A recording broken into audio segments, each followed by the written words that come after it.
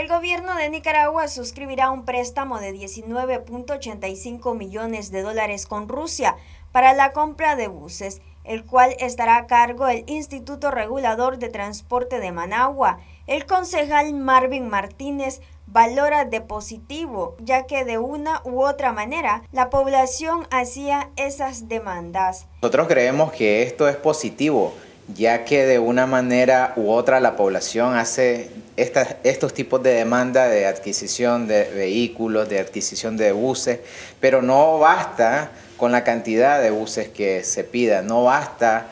sino que es necesaria una calidad de buses diferente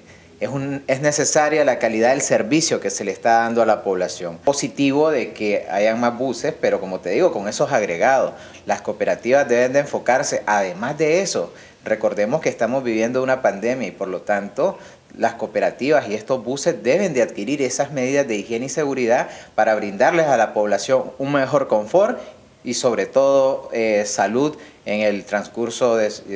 su trayectoria, sea donde se dirijan, ya sea trabajo, ya sea universidad, donde utilicen pues ese medio de transporte que les va a servir de mucho en estos momentos tan difíciles que vivimos. Eh, mientras más buses hayan de calidad y que la población haga uso, buen uso de ellos, yo creo que es muy positivo y creemos que viene a ayudar a la población. Martínez recomienda que se debe de capacitar al personal que conduce las unidades de buses para que lleven la cantidad de personas indicadas. Una capacitación eh, al personal que utilice estos buses para dar las orientaciones, montar a, la, cantidad de personas indicadas que dice eh, eh, la capacidad del bus y obviamente eso va a contribuir a que estos buses duren más, si son buses de calidad,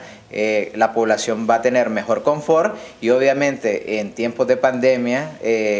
mientras más buses haya, mayor cantidad de, pobladores usen los buses, eh, será importante de que circulen más buses para que la aglomeración sea menos. Noticias 12, Darlene Telles.